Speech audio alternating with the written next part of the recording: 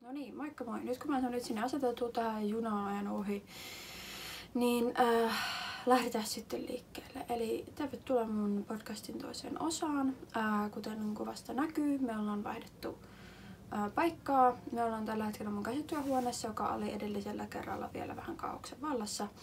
Ja tota, tää on, nyt kun mä katson tuosta monitorista, niin vähän kolkomman näköinen kuin tuo edellinen paikka kuvata, mutta ää, mä yritän tässä viikkojen ja kuukausien aikana tehdä tästä vähän viihtyisemmän. Että tää on niinku semmoinen huone meidän asunnon perällä, joka on mua varten tehty, koska mun mies osaa olla tosi äänekäs.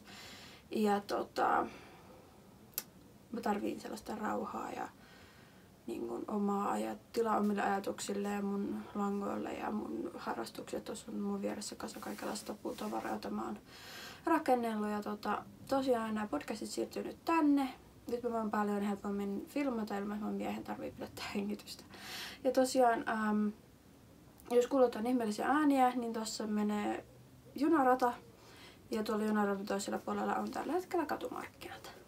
Mutta tota, joo, ää, mä yritän noin kerran viikossa tehdä podcastin. Mulla ei siis välttämättä ole mitään valmiina.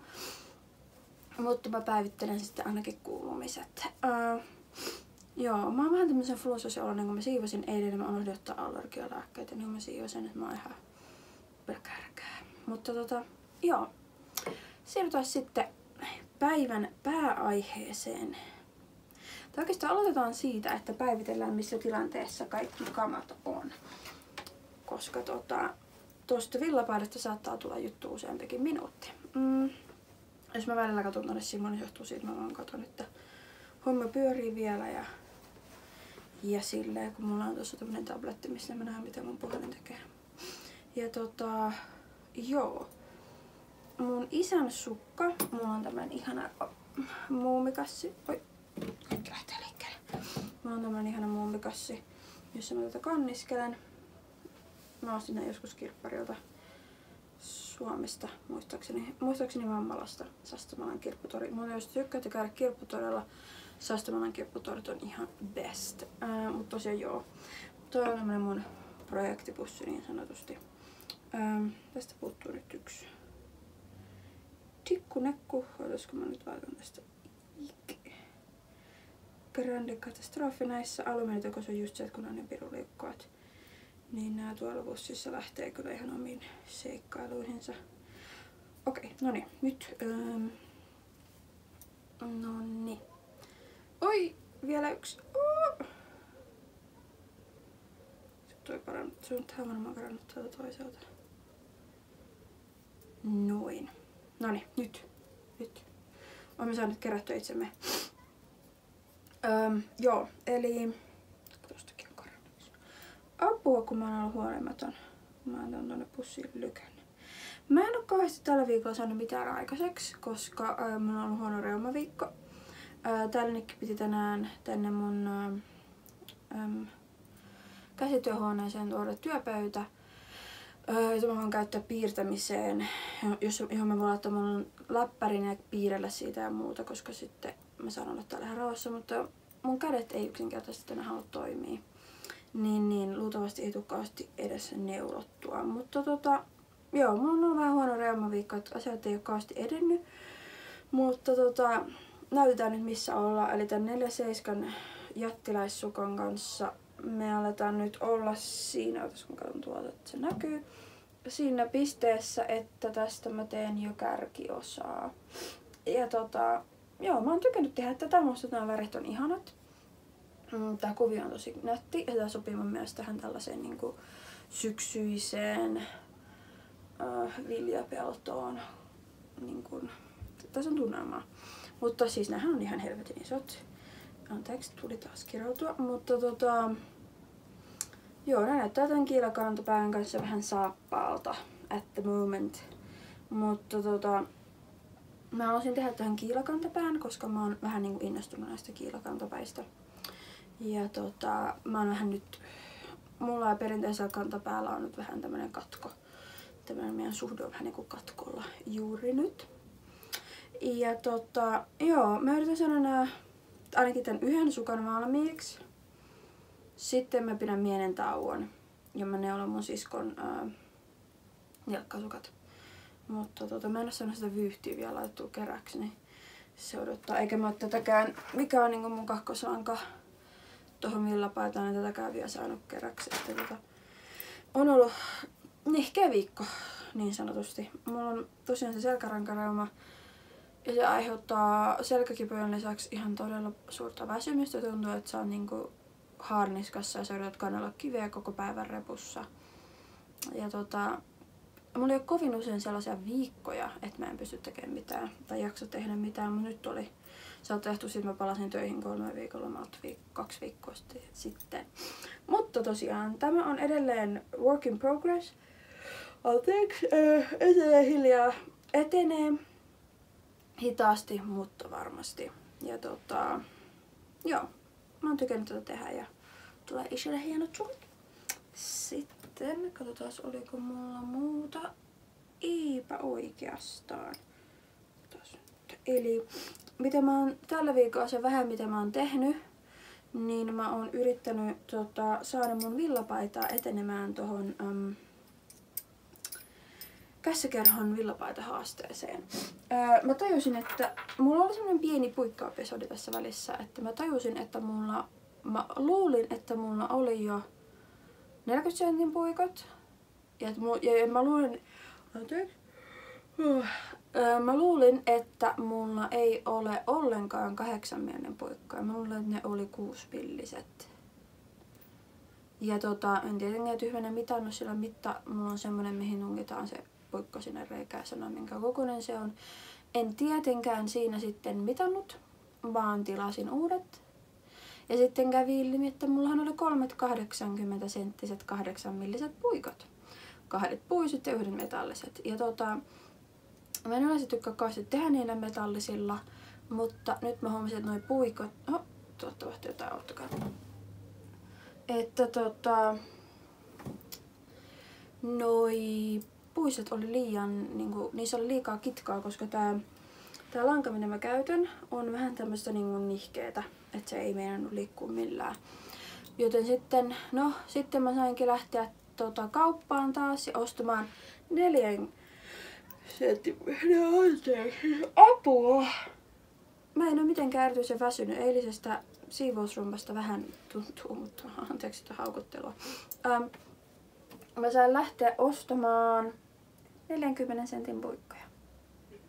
Ja tota, ne on tämmöiset niinku neliönmuotoiset puikot. Ja tota, mä ajattelin, että mä kokeilen näitä neljä. Nämä on niinku niitä Kritipron kubikseja. Ja tota, nämä nytten, mä en tiedä kauanko nämä on ollut jo tällaisella, että sä oot saanut näitä neljänmuotoisia kubikseja tällaisena pyöräpuikkoina, mutta tota, joo, mä ajattelin kokeilla näitä, koska mulla on ollut niitä puisia kubikseja. Ja mun täytyy sanoa, että nämä on kyllä niinku, Näillä oli vähän hankala neuloa. Ehkä johtuu siitä, että nämä on niin isot, kun mä oon tottunut sukkapuikkoihin. Ja mitä isommat puikot, sitä enemmän mulla oireilee niinku kädet.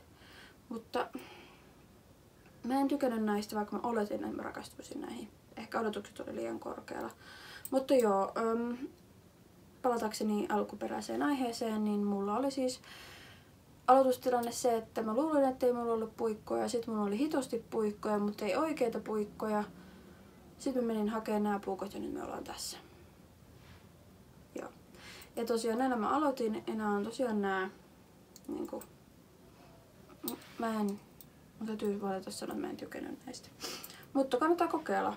Mm, ehkä sä tykkäät nämä tällaiset äh, Knit Brown neljän muotoiset. Joten mä olen ihan tyytyväinen, että mä en sitten ostanut näitä pitempiä puikkoja siinä tuossa samanlaisessa neljänmuotoisessa mallissa. Ja sitä paitsi mullahan oli näitä kolme, niin onneksi mulla ei tarvinnut ostaa niitä. Mutta joo. Mun villapaita on nyt tässä kohtaa, että mutta mä yritän täältä kilistelemättä kauheasti. Mm. Missäs me ollaan? Tuossa on hiha. Tuossa on niinku etukappale. Ottakas nyt kun täältä niinku... Mm, tässä kohtaa. En tiedä näkyykö sitä kauhean hyvin, mutta joo. vielä on about puolet kavennuksista, ää, anteeksi, lisäyksistä tekemättä. Ja tota, sanotaanko näin, että tie tähän ei ollut helppo. Purin tän ehkä neljä kertaa, kolme kertaa anteeksi. Sain yhden hermoromahduksen. Ja joo, mennään tässä välissä katsomaan, että miten se loppupeleissä menikään. Eli tässä on pieninä insertteinä, miten me päästiin lankarullasta tähän pisteeseen. Ja palataan sitten, sitten vähän juttelemaan. Ei ihan ole mun juttu tää villapöydän teko. Tässä on takakappale, tässä on etukappale. Tämän merkin pitäisi olla tuolla. Mm. Aina ei voi voittaa. Mutta se oli mun puolustuksessa jokseenkin vähän epäselvä se ohje. Mulla meni ykköstä, kakkoset ja kolmoset sekaisin ja en mä tiedä. No, ei kun purkuja. Puretaan tähän asti. Kamerapomppi, kun mulla on koirasuvissa. Nyt mä tein silleen fiksummin, että tässä on mun etupuoli. Tuolla on takapuoli merkitty. Tähän loppu takapuoli. Ja tota, tää on niinku etupuoli tähän niinku periaatteessa etupuolena on hihat. Ja mä oon niinku merkinnyt vähän paremmin. Et mä jo hahmotan tästä, että mihin ollaan menossa ja mistä ollaan tulossa. Kolmas käytetään No niin, homma etenee. Ja taakka ei kyllä ole keventynyt, mutta joka tapauksessa tuolta taas tuolta saattaa kuulla jotain kun mun mies pelaa, mutta mä oon nyt päässyt sijoista, että mä oon nyt kaven, tehnyt näitä lisäyksiä. Mä päätin tehdä ne niin, että niissä on nuo reijät mukana. Anteeksi, mun koira. Öö, niissä on nuo reijät, koska se mä, mä pystyn niinku paremmin hahmottamaan, mitä mä oon tekemässä. Koska tää on vähän niinku tällaista, niin mun on hankala tästä hahmottaa. On vahdoin ison pidempään tähän kaapeliin ja tota, mä en tiedä kuinka ruma tai kaunis tästä tulee, mutta mä nyt mä teen tän loppuun. Ensimmäinen on aina ensimmäinen. Mä teen tämän loppuun, tuli miten ruma ja hirveä tahansa, mutta harjoitus tekee mestarin. Ja tää on nimenomaan harjoituskappale. No niin, nyt te olette nähneet öö, muutaman pätkän work in process videota. Ja tota, mä kuvailen toisia pieniä pätkiä näihin väleihin sitten jatkossakin. Anteeksi, mulla on pakko leikata tuosta taas yksi haukotus pois. Mm, tosiaan, että te saatte vähän nähdä, miten ollaan päästy tähän lopputulokseen, koska usein mä viikon aikana ehdin yleensä aika pitkälle. Mä sain viikon aikana esimerkiksi sukat valmiiksi. Öö, joten musta on kiva näyttää sitä vähän, miten se prosessi niin kun etenee. Ja kuten sanottu, mä olen aika uusi neulaja. Mm, tää on mun ensimmäinen yritys tehdä villapaita. Ja tota, sanotaanko näin, että musta tästä ei tule välttämättä kauhean hieno. Öö, mutta mä aion tehdä tämän valmiiksi, koska toisto on opintojen äiti. Jos mä jatkuvasti purantaan, kun jotain menee väärin, mä saan olla koko ajan purkamassa sitä. Mä mieluummin yritän sit oppia korjaamaan sen virheen niin tullessa siitä, koska esimerkiksi täällä näin, koska mä etin tämän mun yhden katastrofikohdan, täällä näin meillä on näitä mm, Otusko yritän sihdata ää, näitä tällaisia kaven, levennyksiä, kavennuksia vähän niin kuin joka puolella. Miten tästä näkyy. Mutta sitten mä oon vaan niin kuin tässä yrittänyt älytä, minkä takia nämä ovat menneet tänne. Ja miten mä saan ne takaisin tuohon. Ja tota, itse asiassa tää on auttanut mua niin kuin sillä lailla tajuamaan tämän raakalan lisäyksen. Koska mitä pidemmälle sen tekee, ja mä jätin nämä reijät tähän. Siinä ohjeessahan ei ollut näitä reikiä, mutta mä jätin nämä reijät tähän, että mä niin kuin hahmotan paremmin, että missä mä menen ja, ja, ja miten se, mikä on niinku tämän anatomia. Ja tota, täytyy sanoa, että tämä on niinku tosi opettavaista. Mä oon yrittänyt välttää, jos menee juna, ää, niin kuin, ää, langankierron lisäyksiä, koska mä oon ollut kanssa vähän arka, mutta tää ehkä rohkaisee myös kokeilemaan niitä esimerkiksi huivien teossa tai sukkien teossa. Et, tässä mä oon niinku tajunnut sen, miten kivaa tällaista reikäkuviota sä pystyt tekemään, kun sä vaan uskallat kokeilla. Että tota, mm, mullahan on aika paha hahmotushäiriö siis. Mä ymmärrän enemmän kuin joku näyttää tai joku piirtää kuvan. Mutta esimerkiksi mä ajan vanhalla Volvo sen takia, kun siinä ratissa lukee Volvo. V on vasen ja on oikea. Mä oon siis ihan toivoton. Joten mä oon niinku siitäkin, siitäkin mielessä tosi ylpeä siitä, että tästä on niinku osassa kohtaa tullut niinku tosi siistiä. Mä näytän tästä. Oh, otasko mä yritän sihtää toi kamera. Joo. I, i, ei nyt. Y. Joo, no nyt näkyy. Mä voin ottaa kuvankin. Tää on aika onnetonta. Mm. Joo, että mä oon niinku siinä ollut tosi iloinen että vaikka täällä on niinku osioita, jotka, jotka näyttää siltä, että ne olisi tehty humalassa, niin täällä on myös osioita, jotka on tehty tosi hienosti. Ja tota, tiedättekö, tästä tulee varmaan ihan jees. Ja se, että niinku, tässä kun tekee töitä, joiden lopputulos ei välttämättä ole ihan primaa shittia, niin sä samalla kuitenkin opit ja niin kuin saat sellaista tuntumaa. Ja että jos et sä tee sen takia, koska sä pelkäät, että lopputulos on katastrofaalinen, niin mun mielestä sä et voi ikinä oppia. Et tietysti on sellaisia ihmisiä, jotka on neulonut pidemmän aikaa, jotka odottaa itseltään tosi siistiä jälkeä, mutta tota, koska tää on tosiaan mun ensimmäinen villapaita ja mä oon niin kun, ja mä tiedän, tunnen itseni siitä, että mulla on tosi paha, huono hahmottaa. Mä esimerkiksi laitoin, niin kuin tuossa videossa edellä näkyy, niin raglan lisäyksen merkit ihan päin huttuu. Öö, ja siis alku ei ollut kaikista tota, smoothein, mutta tota, eteenpäin on päästy. Tää itse asiassa alkaa muistuttaa vähän villapaitaa.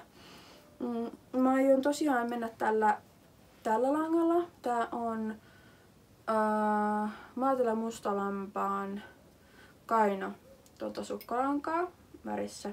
Olisiko luonut harmaa tai niinku ymmärtääkseni väriä. Mä että se lammas oli niinku sitten värinen. Ja sitten mä menen tällä niin pitkälle kun mä pystyn. Ja tuota, sen jälkeen mä teen loput öö, niin kun, tursosta. Koska mä oon aika lyhyt, vaikka mä oon aika, no mä en sanoa paksu, mutta niinku jykevä. Mm, no, joka tapauksessa. Mä oon kuitenkin tosi lyhyt, eli siitä villapaidassa ei tarvitse tulla kauhean pitkään. Eniten ehkä tilaa tarvii mun tisseille. Ja tota, Eli mä teen niin pitkälle tällä kuin pystyy ja ainakin hihat. Öö, ja lopun tästä helmasta mä teen tällä öö, vuorelman vetolangalla. Tätäkin, tätäkään ei ole laittu vielä kerälle, koska tota, joo, en ole vaan jaksanut. Mutta tosiaan, katsotaan miten pitkä tää video on.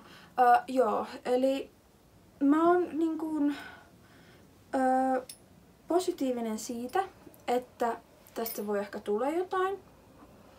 Öö, tästä ei välttämättä tule mun kaikista hienoin teos, mutta tota, mä olen oppinut tästä projektista ihan alkuun sen, että paksut puikot ei ole mun juttu. Nämä on siis ihan perus 8 millise, 8 milli, nyt tuo, 8 milli, tota, 8 milliset pyöräpuikot, mutta Musta tuntuu, että ne on ihan valtavat. Musta tuntuu, että mä, te, mä tässä kudon niin kuin kahdella oksalla ja yritän tässä niin kuin, ja, niin kuin, ja, ja kaikki niin kuin tuntuu, että on kauhean hankala. Niin kuin esimerkiksi nämä raglanit olisi periaatteessa pitänyt ommella niitä reikää niin kuin kiertäen takaa. Mutta tiedätkö, kun tämä aukko on näin iso, niin siinä tuntuu, että etu- ja takakohtaakaan ei enää ole, vaan se on niin yksi iso suuri musta aukko. Niin senkin takia mä päätin nyt jättää nämä tällaiseksi reikäiseksi sen takia, että mä sitten näen, missä mä menen. Se auttoi mua kyllä hokaamaan niin tämän anatomian tässä lisäyksessä. Mutta tosiaan home jatkuu. Öö, mä luulen, että nämä raganit on tämän keikan vaikein osuus. Ja me ollaan siis jo voiton puolella siinä, että riski hermoromahdukseen ja öö, lopettamiseen on pienentyy metri metriltä, sentti sentiltä. Ja tota, Joo. Eiköhän, eiköhän tässä jotain tuu. Ja mä haaveilla jo seuraavasta villapaidasta, mutta koitan ensin tehdä tää valmiiksi ja sitten tota, katsotaan riittääkö kärsivällisyys, koska mä huomannut, että nää vie aika paljon aikaa ja mun sukkatuotanto niin sanotusti vähenee aika huomattavasti. Ja tota, ja mulla kuten sanottu on jonossa aika monet sukat perheenjäsenille. Ja tota, mm, niin mä huomaan, että mä kaipaan vähän sukkien tekoa, koska ne valmistuu tietyllä tapaa nopeasti.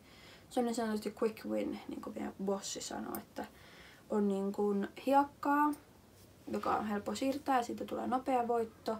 Sitten on kiviä, joka on vähän vaikeampi siirtää, mutta kuitenkin tulee suht nopea voitto. Sekä murikoita, joiden siirtäminen on hankalaa ja siihen tarvitaan suuri suunnitelma, suuri suunnitelma, niin tota, sanotaanko, että tää on vähän niin kuin niitä murikoita ja sukat on sitten hiekkaa ja mä oon ehkä vähän mukavuudellisesti tottunut niihin nopeisiin, nopeisiin keikkoihin, mutta tää on ollut tosi kiva. Tätä ei ollut kiva tehdä, mä myönnän sen suoraan. Nämä puikot on liian isot ja mun on vähän hankala käsitellä tätä. Ja mun oli tosi hankala niin kuin päästä alkuun. Öö, tästä on tullut mukavampi tehdä, mutta, mutta jo tosiaan seuraava kerran mä otan ohi, jos on vähän pienemmät puikot, vaikka tässä ohjaassakin oli 10, mä otin 8. Ja tota, mitäs muuta mä voisin tästä sanoa? Joo, eikä se. Mutta että itse asiassa haastaminen on yksi asia, mistä mä niinku tykkään eniten neulomisessa. Itse asiassa haastaminen ei ole aina kivaa, eikä oppiminen ole aina hauskaa, niin kuin Hehe Franklin vai, eikö se oli Kaapo, Kaapo. Kaapon nunnus laulussa, että kaikki mukaan oppimaan ja hauskaa on. Ja silleen, mutta se ei, se ei aina ole sitä. Ja mä oon tämän villapaidan kanssa sen todennut, mutta se ei saa tarkoittaa sitä, että luovutettaisiin, vaan eteenpäin mennään niin kuin mummo lumessa. Ja ensi kerralla ehkä mulla on käsissä vähän villasu, villasukkaa villapaitaa enemmän muistuttava teos. Öö, joo, ja tota, tosiaan mm, mä yritän tehdä viikoittain näitä podcasteja. Joskus jos en ehdi kautta jaksa, jos mun sairastelu on sitä luokkaa, että mä en vaan pysty, mä en vaan pääse ylös sängystä, jota sitäkin tapahtuu joskus, niin sitten se jää tekemättä, mutta mä oon, yritän aina kyllä aktiivinen Instagramin puolella. Ja tota, mä huomasin, että täällä oli tullut jo 50 seuraajaa, kiitos kauheasti tosiaan tämä kanava on vielä alkutekijöissään ja mä vielä etsin vähän sellaista omaa tyyliä ja sellaista niin kuin, uh, mukavuutta tämän kameran edessä. Mm, tämä on tosiaan meidän uusi tila. Uh, kuten sanottu, tämä on vähän kolkompi just nyt kuin toi mun edellinen paikka. Sieltä tulee nasu. Uh, ja tota, eipä, tota. Ja tota, tää on vähän kolkompi tuo mun edellinen mesta, mutta eiköhän siitäkin, tääkin muutu mukavammaksi tässä tässä tota, viikkojen kuluessa, kun mä vähän sisustaa ja, ja silleen. Mutta tosiaan, kiitos kun katoit. Tää on enemmän tämmönen villapaita-päivitys tohon ää, Kässäpuolen villapaita-haasteeseen. No ei. Ja tota, miten tässä nyt sanois? Ensi viikolla toivottavasti olisitte vähän sukkia valmiina. Ää, toivotaan parempaa reumaviikkoa kaikille muillekin reumaa sairastaville ja vastaavaa. Ää, ja tosiaan toivottavasti jos ensi viikolla vähän jotain valmistakin sitten esitellä. Ainakin yksi valmis 47 sukka, mutta noin mun siskon nilkkasukat, nehän on aika nopea tehdä, että luultavasti nekin sitten siinä valmistuu.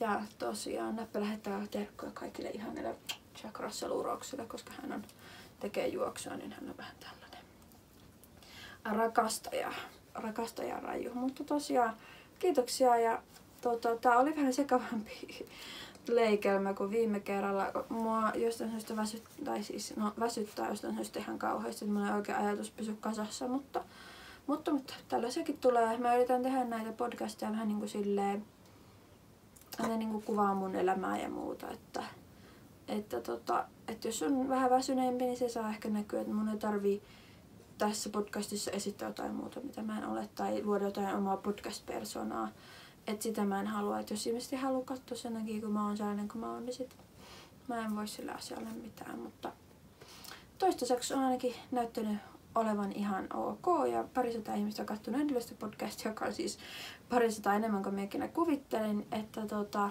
kiitoksia kaikille ja palataan taas ensi viikolla asiaan. Moi moi! Moi! Suutelma.